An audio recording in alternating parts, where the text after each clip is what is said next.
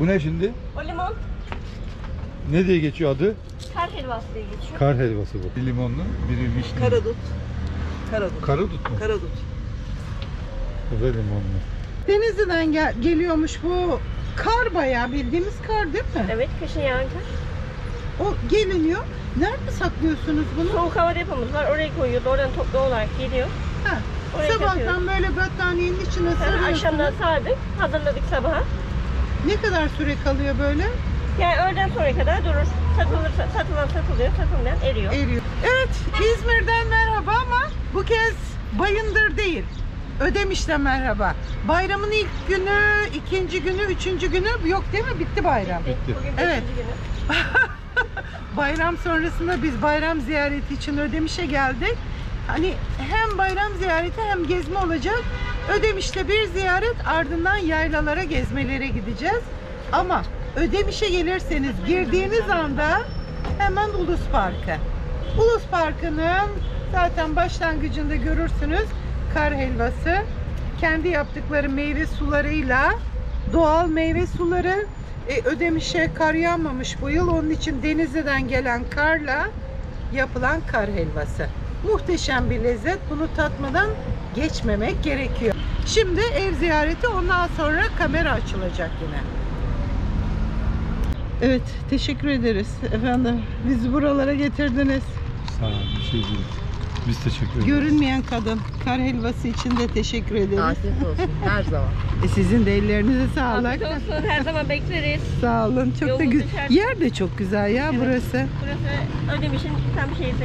Değil mi? Göz Bir keresinde geldiğimde kuşlar böyle dans ediyordu. Ağaçlar da önceden biraz budadılar. He. Ödemiş'in ünlü Töngül Pidesi. Adımı soyadından dolayı. Saadettin Töngül'müş ilk yapan ama arkadaşımız getirmişti. Biz de öyle duymuştuk. Şu anda Ödemiş'teki Arassa'dayız. Böyle çok güzel eski dükkanlar, eski tarz dükkanlar hepsi bir arada ve sokak aralarında gölgelikler yapılmış. Ağaç yok ama gölgelikler sayesinde sokak araları serin oluyor. Çizme bakıyorum ben de gelmişken. Çizmem yarılmıştı. Bir çizme dur bakalım bulabilecek miyim?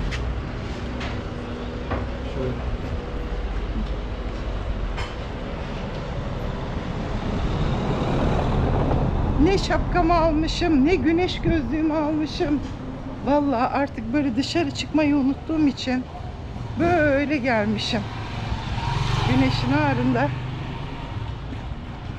yaylalara çıkacağız dedik nasıl olsa. Hani ödemişte dolaşacağımızı düşünemedim. Evet şu karşıda bir yer var. Evet nihayet geniş bir tane kısa geniş denk geldi. Yani en azından içine böyle şalvarı falan koyabilirim giydiğim zaman bahçe işinde olabilir bu. Ben renk olarak hani daha böyle beyaz, sarı falan istiyordum ama ne yapalım? Ama pazarlık edeceğiz tabii. Pazarlık artık alışverişin şanı. Aha pazarlıkçı adam orada. Ama be, bayındırlı değilsiniz. Yok. Adanalıyım. Ölmek gibi olmasın diye söylemedim. Çok güzel Omega ama. e, 1905 açılışı. 1905 Beş. dededen. Dedem 1949'u kadar 49'dan 87'ye kadar babam. Maşallah. 87'den sonra da biziz. Ay hiç niyetimiz yokken bak iki çizme aldım. Aynısından iki tane aldım çünkü çok güzel. Bak arkadaşım da hazır bulmuşken ama çok güzel hakikaten. Nerede? Ödemiş Arassa'da. Evet. Çakıroğlu Kundura. Ailelik geleneği bu. Yani kendisinde yoksa burada yok demiyor. Bir başkasına önerebiliyor. Değil mi? Kendi de çuval satıyor ama dedim ki yok benim istediğim bu tarz değildi. Hemen Hani bu da olur falan ısrar yaptı. etmedi. Evet Ayakkabıcı da aynı şeyi yaptı. Hani bende yok ama şurada var dedi. Gerçekten Arassa esnafının anlayışı çok farklı. Bak geldik Köseoğlu'na sorduk. Jüt dedi. Ben dedim yok jüt değil istediğim şey. Daha ka- oraya yolladı. Şimdi onlar da tamam. Onlar da dediler ki vallahi yani 40 tane şimdi sattık. Önümüzdeki haftaya kadar tekrar bir olabilir. Ama dediler gidin ileride natural kahve diye bir yer var. Oraya bakın. Yani bir hafta sonra gel ben sana veririm deyip bırakmıyor. İşte gerçekten esnaf ruhu. Ayrıca nerede kaldı bunlar? Sular akıyor hala, çeşmeler var. Esnaflık, sohbet, birbirini koruma, kollama. Ne bileyim 40 yıldır aynı yerde esnaflık yapma. Zor işler. Evet. Gidelim Sami amcayla Melia teyzenin elini öpüp kendimizi yaylalara atalım. Ödemiş'te hava cehennem gibiydi. Çok sıcaktı. Dedik ki hadi bir an önce yaylalara kaçalım. Pirinççi ve bıçakçı. Daha sonra da Ovacık yaylasına gideceğiz. Şimdi buraya geldik. Şöyle daha yolun başlangıcındayız. Aa bir baktım burada bir gölet gibi bir şey var. Baya baya böyle hani plaj havasında. Dedim ki Bahadır'a dur. Bir çekim yapayım.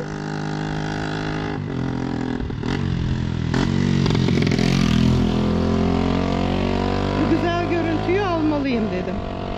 Evet burası pirinççi olabilir mi? Bakalım daha tabelaları görmedik. Yol boyunca çekime devam. Evet pirinççiymiş burası. Pirinççi köyüne geldik. Hoş geldik bakalım. Çok güzel bir köy izlenimi verdi. Bir baraj oluşturuluyor. Evet seti yapılmış.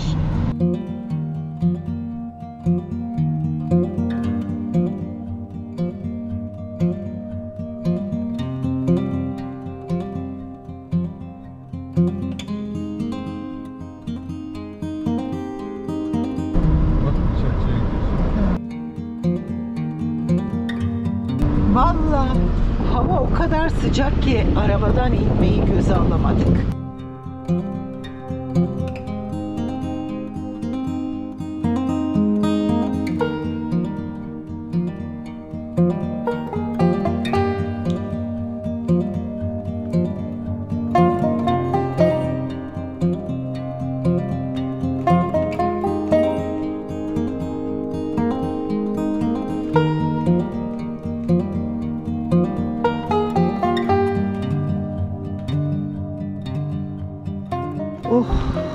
Arabadan indiğin anda böyle sanki cos ediyor.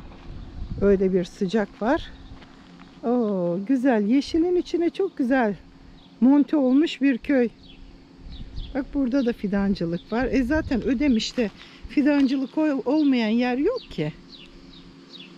Ama o su bilmiyorum hani daha mı serinletir, hayatlarını kurtarır mı?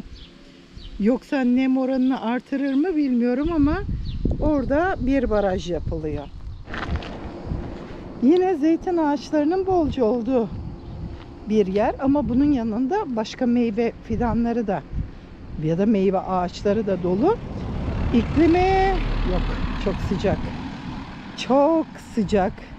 Nerede alan kıyı? Yani ben e, yaylalara çıkacağız dedik Bahadır'la. Bakayım hani alan kıyı kadar güzel bir yer görebilecek miyim? Duygusunu da yaşadım işin açığı. Ama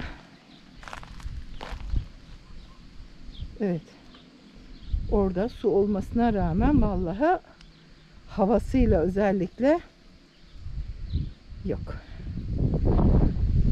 Alan kıyı başka dedirtiyor. Ama burada çok güzel bir yermiş. Muhtemelen şu aşağıdan bir dere geçiyor. Şu bölge özellikle çok güzel. Köyün konumu da çok güzel. Direkt suya ve yeşile bakıyor. Küçük bir köy, şirin bir köy. Oo, ta tepelere de evler yapılmış. Of çok sıcak. Atıyorum kendimi arabaya. Şu anda dayanılır gibi değil sıcak. Araba 41 dereceyi gösteriyor.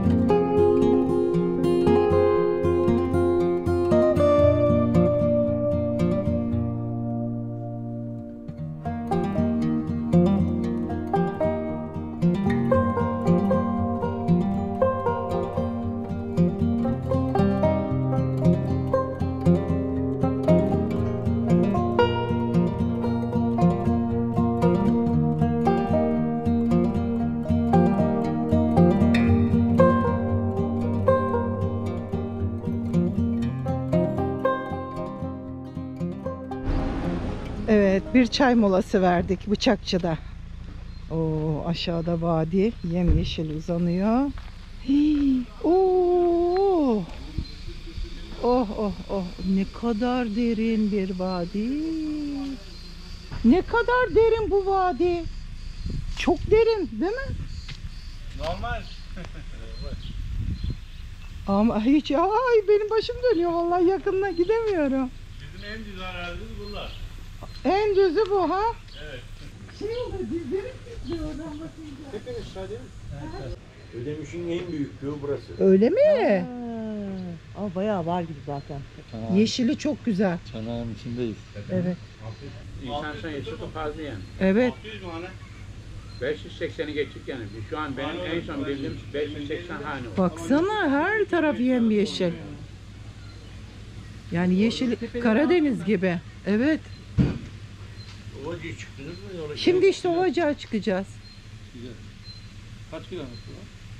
11 kilometre. Evet Bıçakçı köyünden çıktık. Bir de böyle çıkışından dedim. Göstereyim. Şöyle işte daha yaslanmış bir köy. Ama hava korkunç sıcak. Çok cırcır böceği sesinden anlaşılıyordur zaten. Ne kadar yükseğe çıktık ama buna rağmen çok sıcak. Allah Allah. Tepede de bak o öyle bir alan açılmış. Zeytin yapılmış. Bak orada hayvan demek ki bakılıyor. İlginç. Ha. Demek ki orman vasfında değil buralar. Değil zaten ormanlık falan da görünmüyor. Ama yeşili çok güzel. Gerçekten özellikle şu vadi içi veya geldiğimiz yol hep böyle yeşilin içinden götürüyor. Bu da neyi gösteriyor? Demek ki suyu bol bir yer. Bayağı da büyük bir köy. Zaten biraz önce yerlisi olan kişi dedi bak aşağıda Pirinççi'nin barajından bir küçük bölüm görünüyor. Burası Bıçakçı. Ödemiş'in en büyük köyüyüz biz dediler. Araziyi teraslamışlar. Bakın yeşil olmayan bir yer yok. Su varsa yeşil var, hayat var. Böyle bir şey.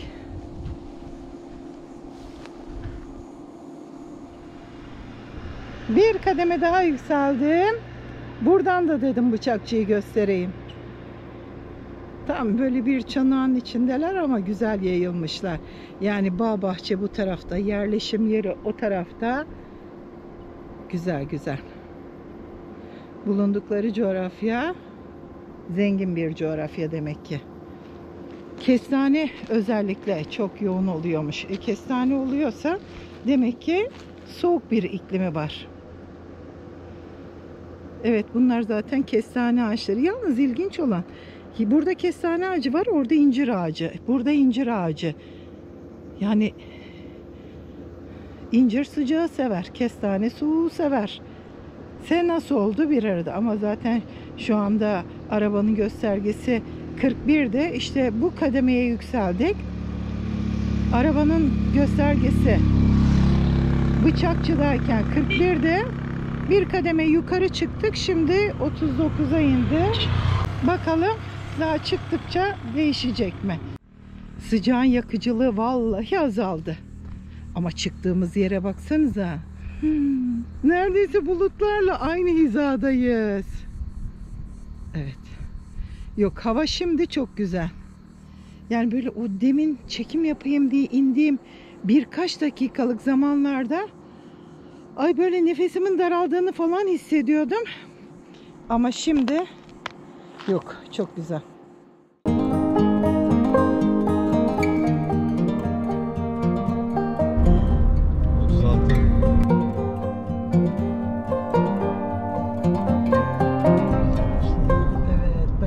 Bacağa geldik.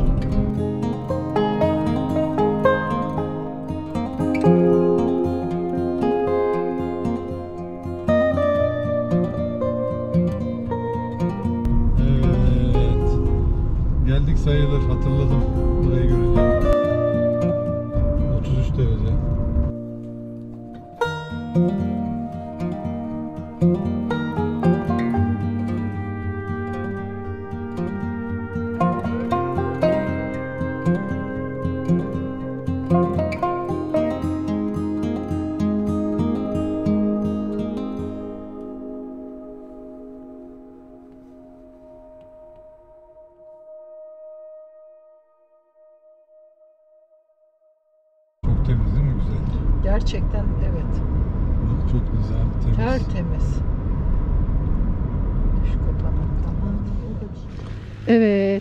Ovacığa geldik. Ve termometre 10 derece birden değişti. Muhteşem bir hava var. Pırıl pırıl bir köy. Bayıldım. Bayıldım. Gerçekten bütün bahçeler bakımlı, her yer ekilmiş, dikilmiş. Bir de tertemiz. Ve burada güzel bir yer gördük. Evet işte benim istediğim böyle bir şeydi. Hoş geldiniz. Hoş bulduk. Düş kapanı dükkanı ha. Evet. Adı da güzelmiş. Bak senin istediğin gibi salkım söğüt. Evet ya çok güzel bir ağaç. Kesinlikle çok güzel bir ağaç. Salkım suyu istiyorum. Çok güzel bir ağaç. Zevkli bir ağaç. Böyle e, saçlar güzel hani saçlı bir insan gibi. Evden alabilir miyim? Bak, İyi günler.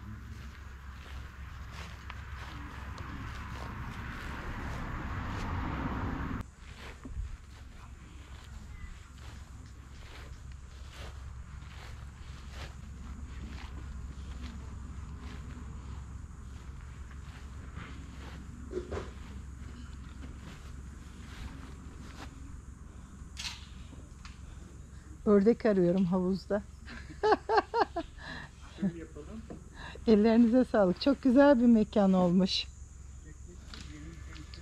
Ha yok. Aa, çok hoş.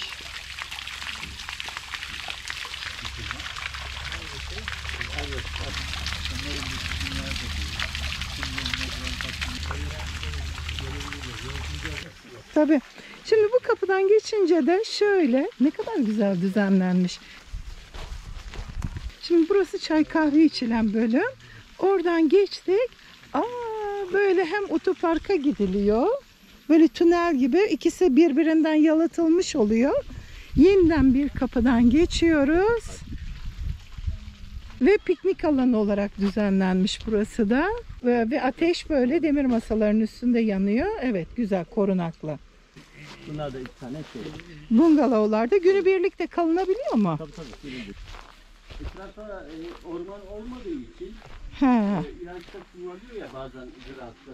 Onun için Ha, engelli rampamız ne güzel düşünülmüş ama. şöyle. Ne güzel. Evet. Ay mis gibi ahşap koktu. Evet. Kapıyı açınca çok güzel.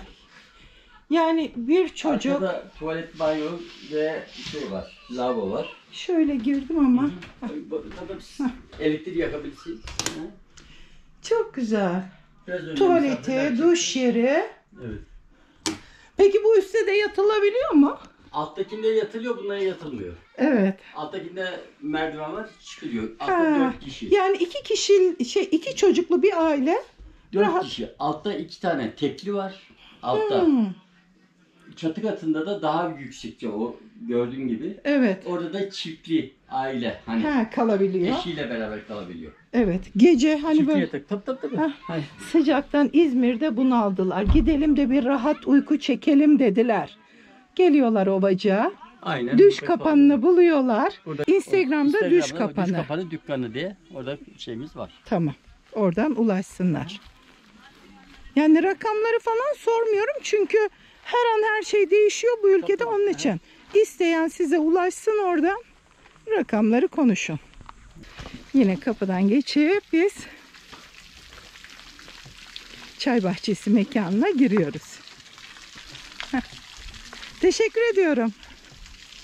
Gideyim bizim. Ay kelebekler bak. Şimdi şöyle bir fark var. Şöyle bir fark var. Bizim orada bölgede oturduğun zaman Allah şimdi nefes alıyorsun.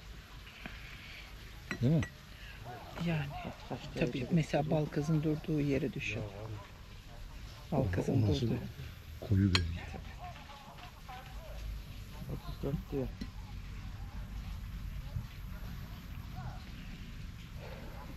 Ovacıkla alakalı düşüncen ne? Konumla Güzel, alakalı. şey olarak temiz. Gerçekten çok temiz. Ama Bir Alanka'yı değil. Değil. Gerçekten değil. Ha bir de şu var. Biz ne kadarını gördük. O da var. Yani. Şimdi bilenle gezmek gerek böyle yerlere. Ha, Alankıyı da bir yoldan ibaret. Burası da bir yoldan ibaret yani. Gördüğün etraf işte. Değil mi? Yani buradan şu yola, şu yol, Evler yani. Başka şu bir şey yola yok ki. sapsan farklı bir şey Yok görmeyeceksin. yok onu diyorum Evet. ya zaten bahçe var ev var başka bir şey yok. Ama şey yani e, böyle değişik bir havası var yani. Da, Şimdi- temiz bir havası var. Yani şey temiz bir görüntüsü var. Oo sağlam ha.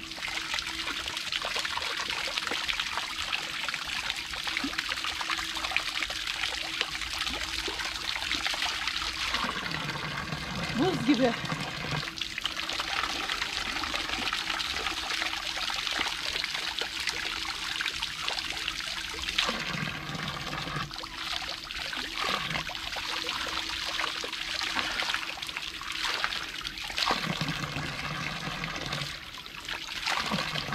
İçin yanmış ha vallahi billahi.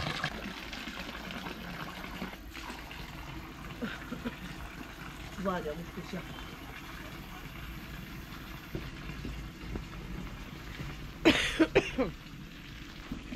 Nasıl? Güzel değil mi su? Bir de böyle hani ağzını dayayıp sınır olmadan kana kana içmek ayrı bir güzel.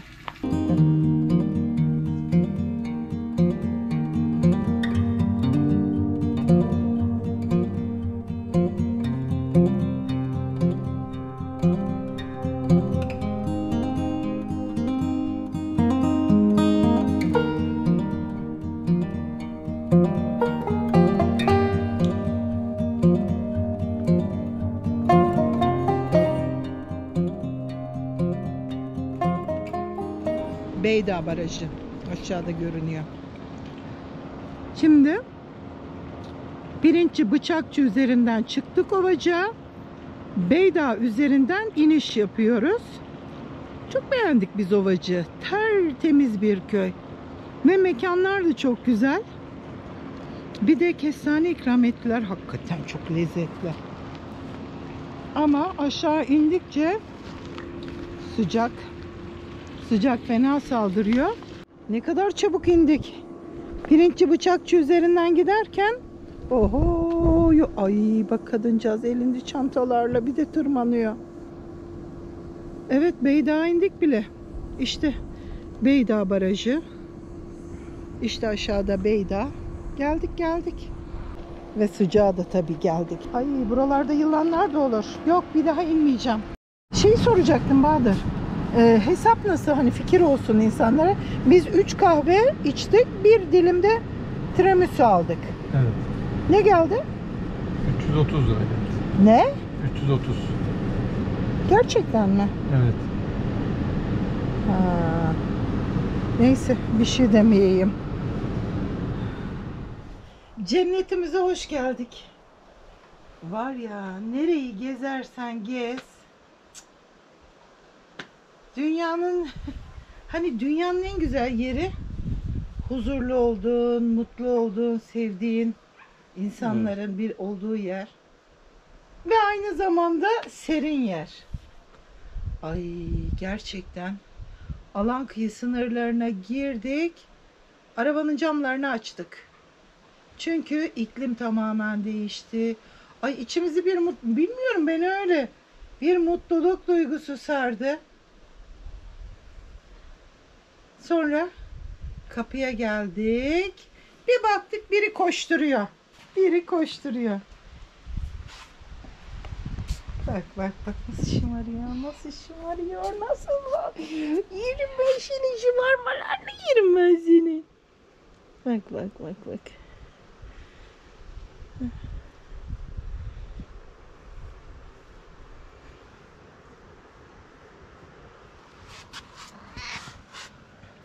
Annem annem yanaşmıyor bana. Hala tedirgin gözüne damla yapacağım diye ama yapacağım kaçarın yok. Çizeceğiz mecbur. Bayağı açıldı ama gözü. Ne oldu? Hani benden kaçıyordun. Hani sevdirmiyordun. Hani, hani, hani, hani.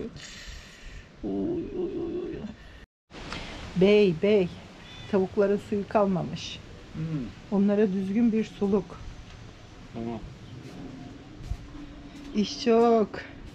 İş çok. Biz gezmelere gittik böyle. Ama vallahi hiç hiç hiç bir yere gidilmez bura bırakılıp da.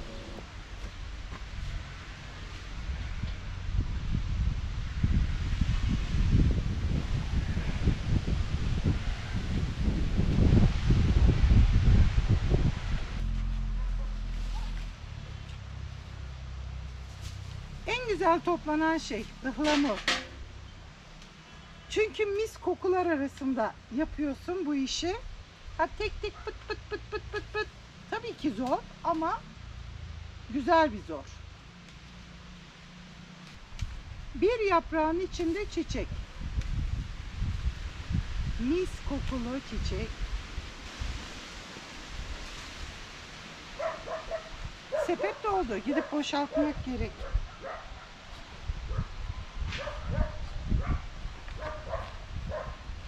Saat olmuş. Hala arılar tepesinde. Arıların arasından alıyorsun. Ama gündüz vakti almak mümkün değil.